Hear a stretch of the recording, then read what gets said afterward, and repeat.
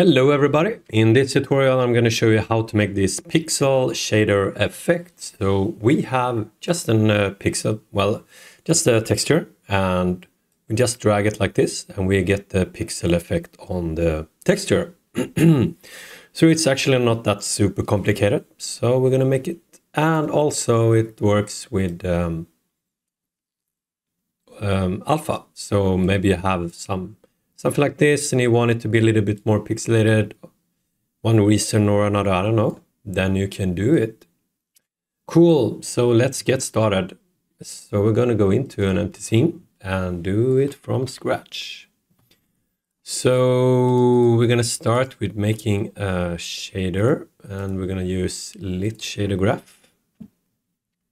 So it's gonna be pixel effect. I'm actually gonna do put my name like this. All right, and we're gonna have um, material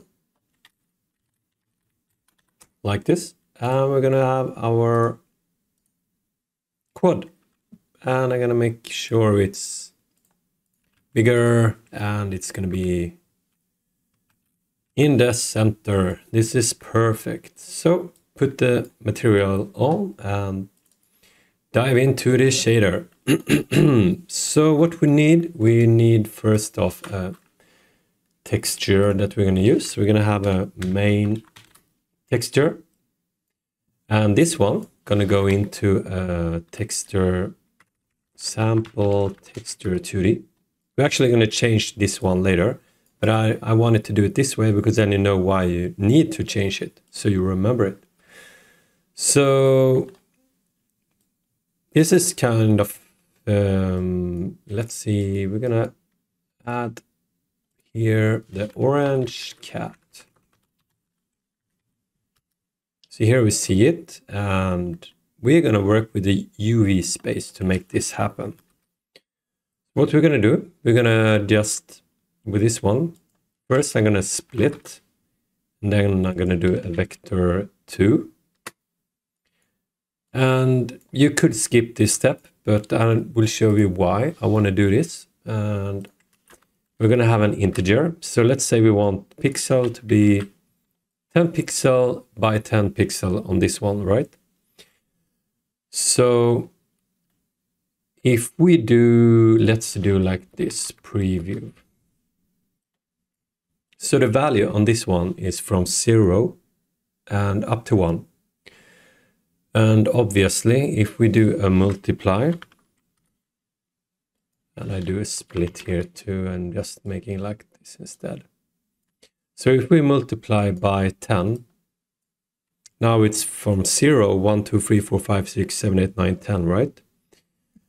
And if we, with these values, do a floor, it basically just make it always 1, 2, 3, and you don't have 1.1 or so let's say you have a value of 0, 0 0.3, you clamp it down to 0.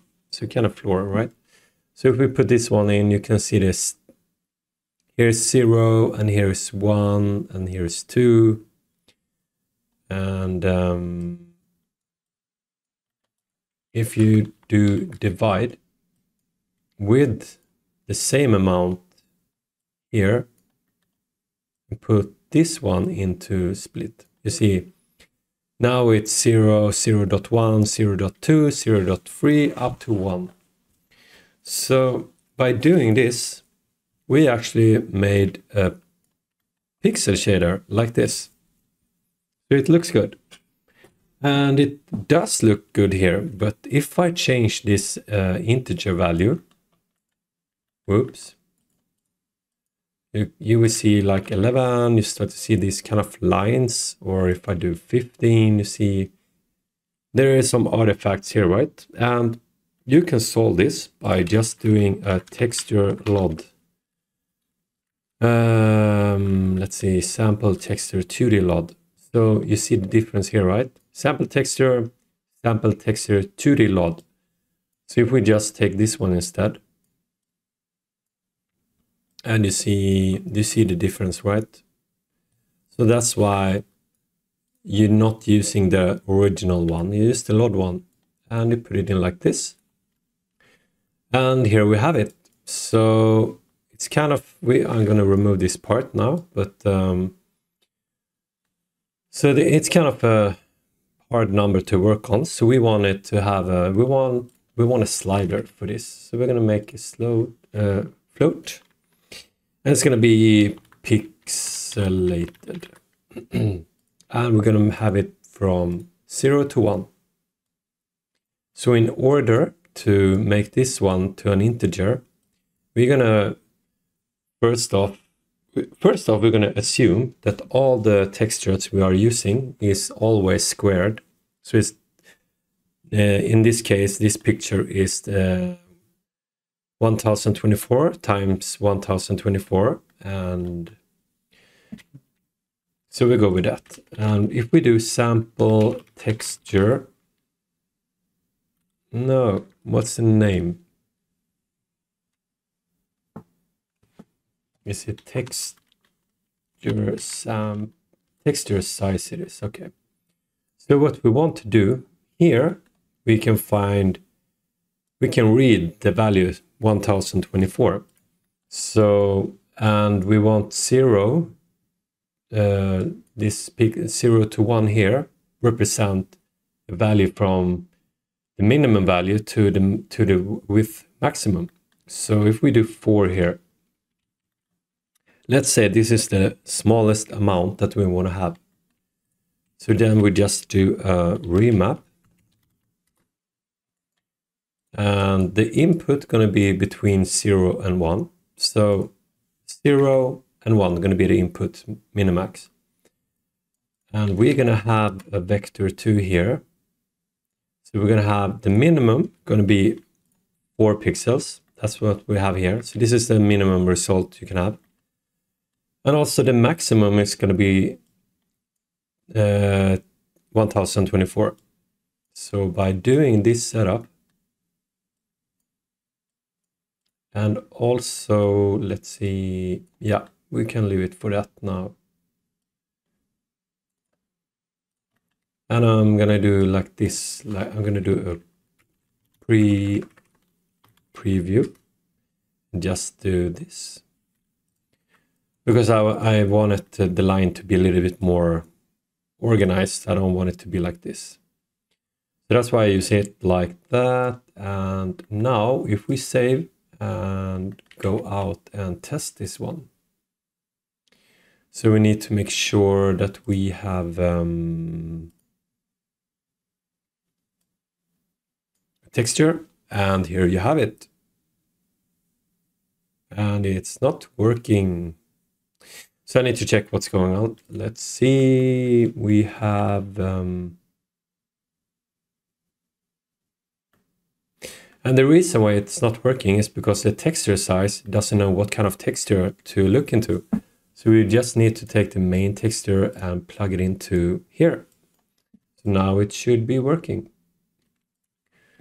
So this is the max and we drag here and you see it's uh, get pixelated. And if you look at the values here, it's zero and up here it's one.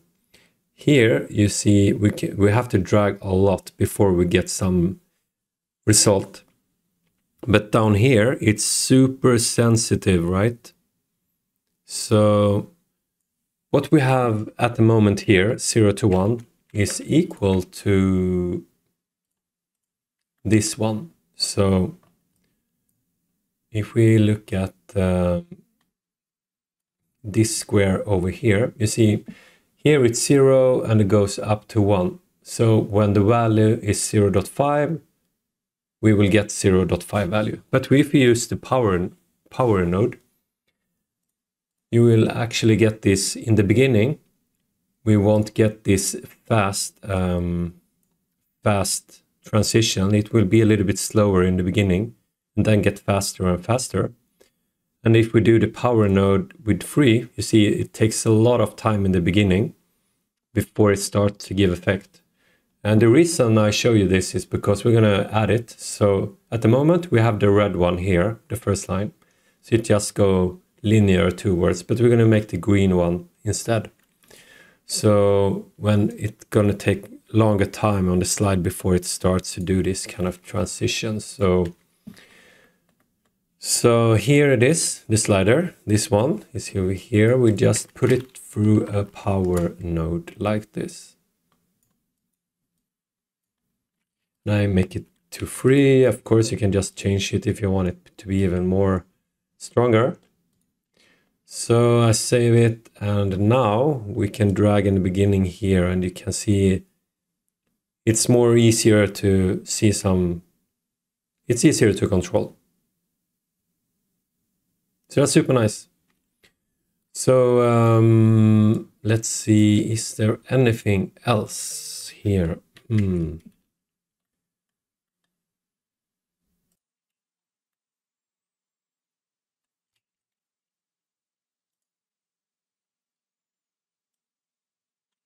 So there's one thing that I don't like. So when I drag here, you can kind of see here, you see the pixels are kind of,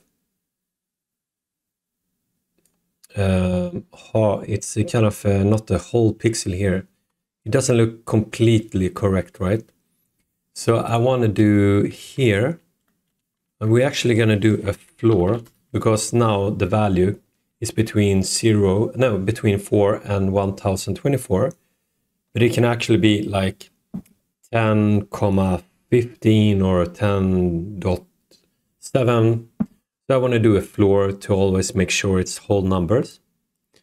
So if you look here uh, we have this value here right? You see the pixels are not it's kind of chopped off right? So if we do add this floor and we do save now you see the, the pixels are always unified like this. I, I like that better. It looks better.